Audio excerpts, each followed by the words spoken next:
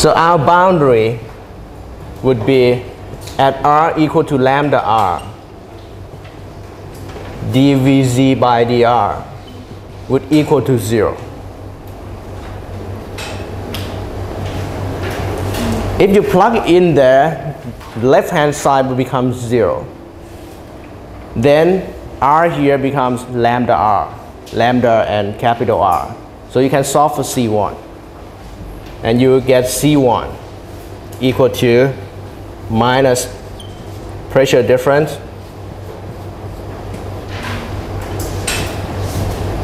lambda square r square over 2, right?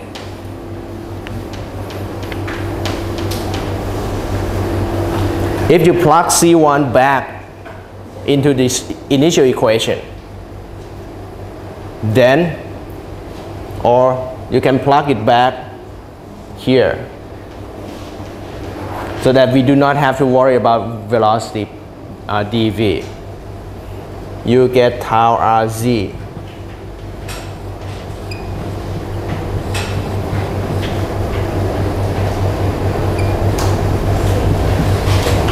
Right? If you look at the term, there's common term P0 minus PL over 2L. That's a common term. I can take R, um, let me ask you this. Can I bring R here? Divide all the way.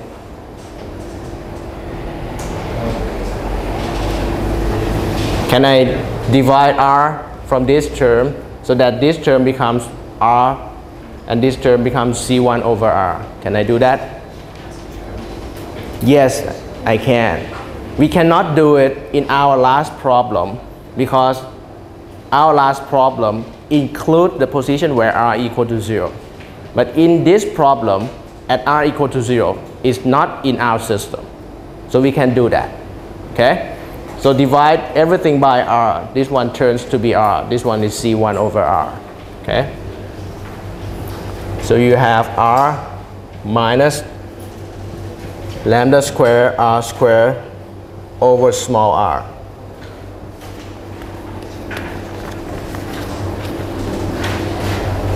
Just to be pretty, change the term a little. Take R out, take capital R out. This term will become R over R, small r over capital R, subtracted by lambda square, capital R over small r. This would be our shear stress profile. Of course, this shear stress profile is not completed yet. Why? Because lambda is still unknown. We do not know lambda yet. Okay?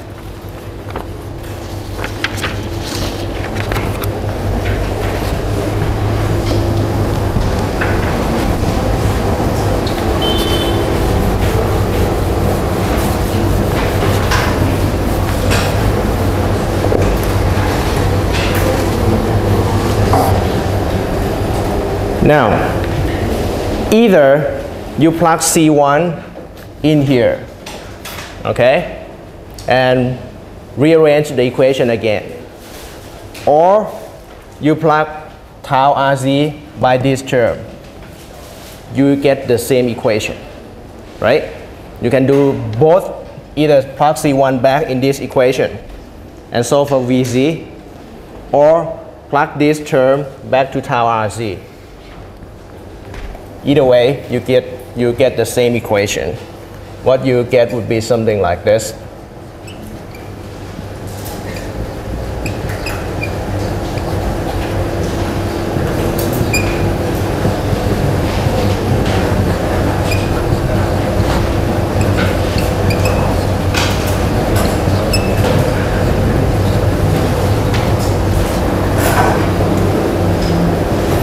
Now we know that differential of R over capital R by dr is equal to 1 over capital R.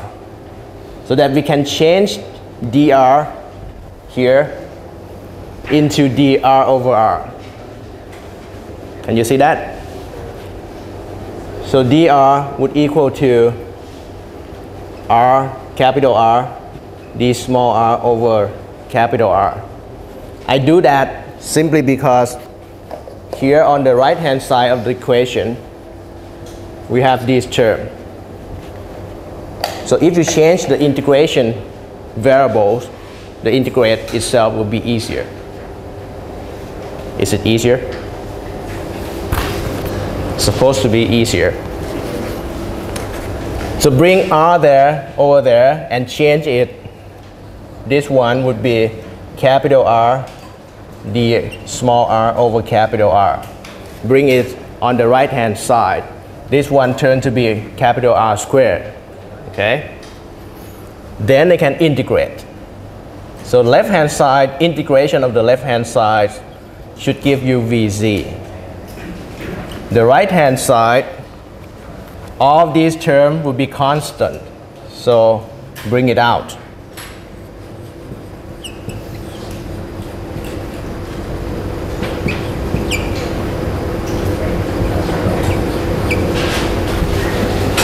Okay? This square comes from this r and that r becomes r square. Inside, you have integration of r over r minus, or let's put it this way, integration here, lambda square capital R over R d R over R.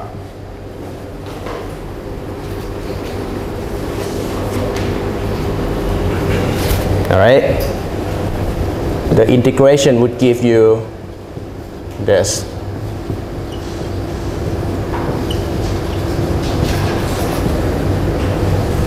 The first term, when you integrate it, what will you get? You get whatever inside here square over 2. This term, lambda would be a constant. Integration of this term would give you what? ln of r over r, r over capital R. Right? Plus C2.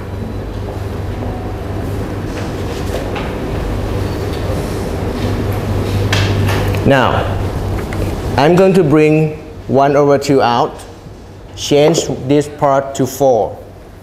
Of course, I'm going to multiply the second term by 2. Okay? Then, since C2 is a constant, it will be constant anyway. I can bring it inside here, can I? If I bring it inside, I can call this one maybe C2 prime or C2 star because everything up front here will be constant.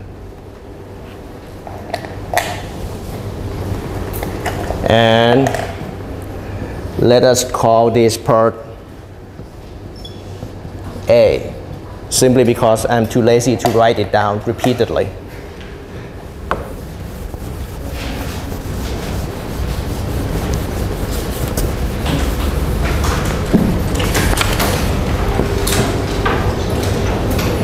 Now, how many unknowns do we have in this equation?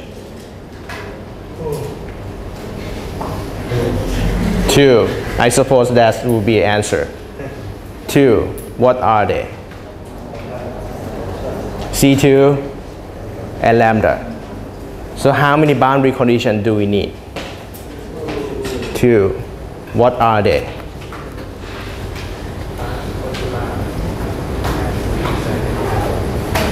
Do we have two boundary conditions?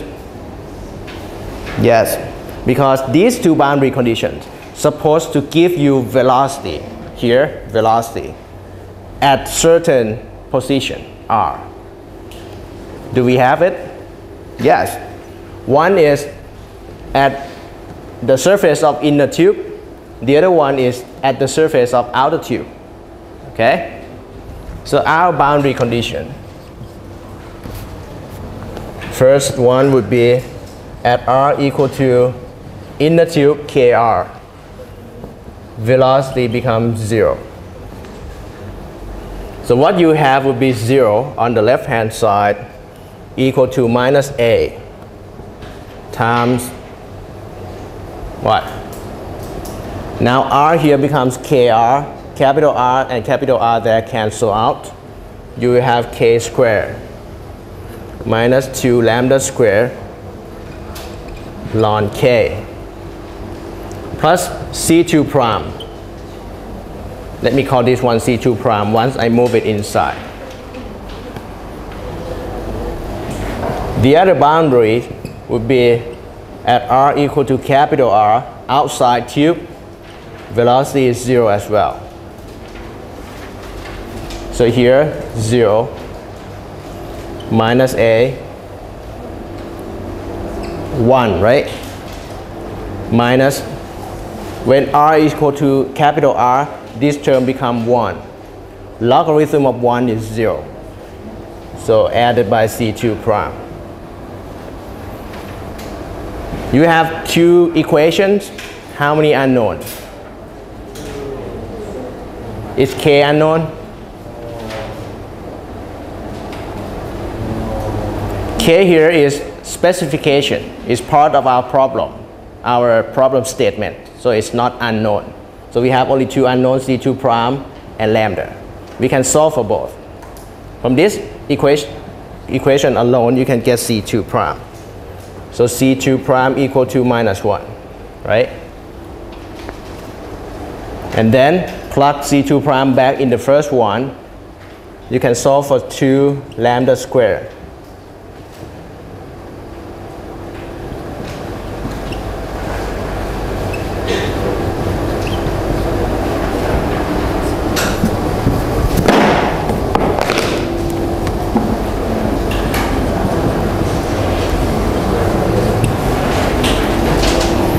And there's reason why I do not solve for lambda only.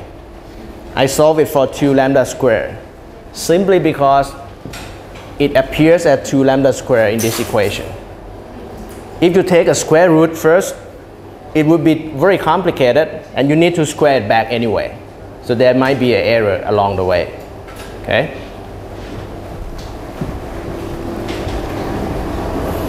So after you get C2 prime after you get lambda square, then you can simply just plug it back in velocity profile and you get the, the final velocity profile. And I'm not going to go all the way through the derivation anymore, just an answer.